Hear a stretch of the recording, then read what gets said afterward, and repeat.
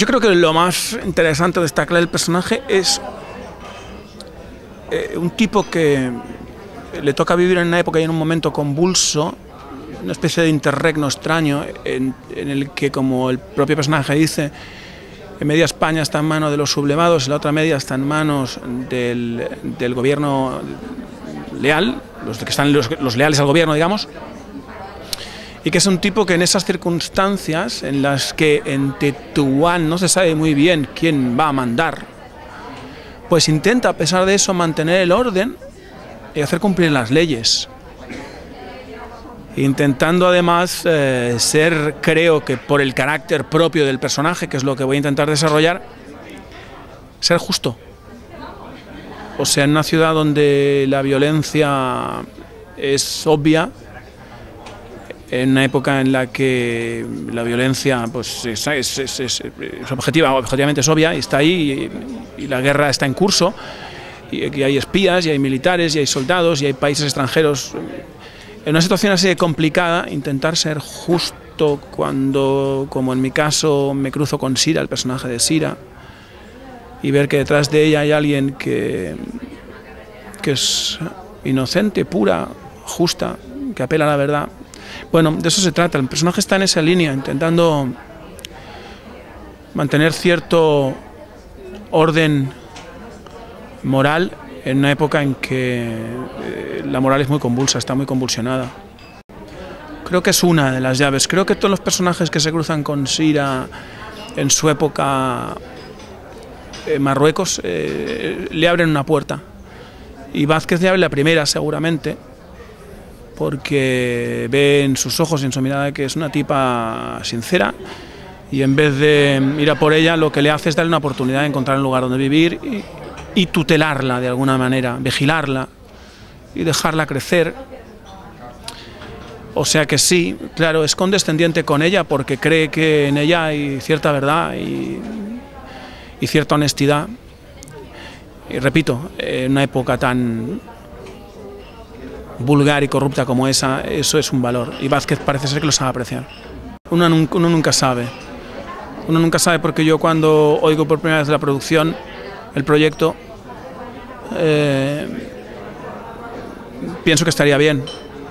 Pero de repente aparece, de repente, pues como siempre, de repente te llaman. De repente recibes una llamada y te dicen, oye, tal, te han propuesto esto, te interesa y tal. Es como, es como medio milagroso esto de nuestro oficio, ¿no? De repente llaman y a veces de repente llaman para cosas que te apetece hacer. alguna vez me ha pasado a lo largo de mi carrera que me han llamado para aquello que pensaba, hostia, me gustaría hacer eso.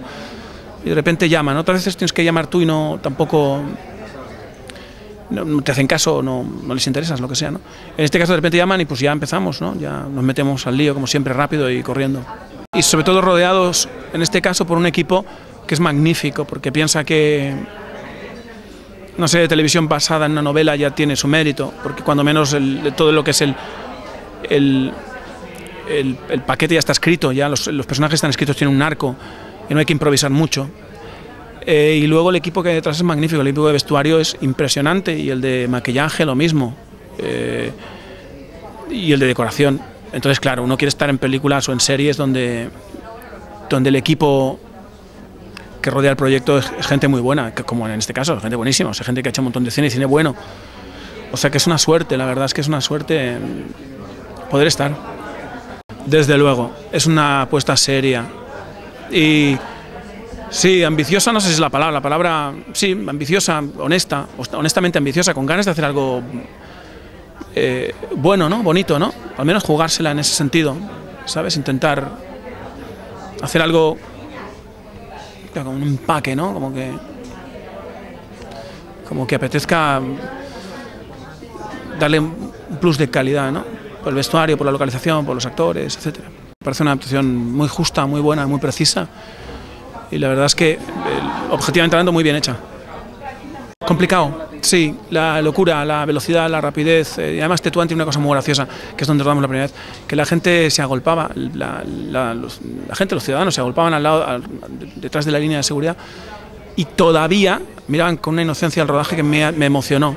Me emocionó porque creo que a nadie le interesa el cine ya, o sea, en cualquier ciudad importante de Europa alguien ve rodar a alguien y será mira, hacen cine, a no ser que esté Bardem o, o Nicole Kidman, ¿no?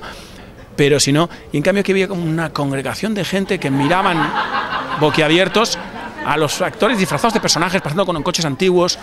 Había cierta ingenuidad que la verdad es que me emocionó porque molaría que el cine volviera a ser eso, como una especie de fuente de, de, imaginación, de ensueño, ese tipo de cosas, ¿no? Que creo que en Occidente se ha olvidado, ¿no? La gente va a ver el glamour de los actores y esas cosas, pero pero no se paran ante la ficción. De repente su calle está transformada en una calle de una época, de otra época con coches y es como, es como un sueño, tío, eso es fantástico. La ficción se hace más creíble, ¿no? Te sientes más a gusto rodeado de un carro de la época, un Citroën de la época como el que lleva el, comisario Claudio y vestido así, ¿no? O sea, es fabuloso, peinado, o sea, está bien, puede ser otro un rato, un buen rato puede ser otro, sí.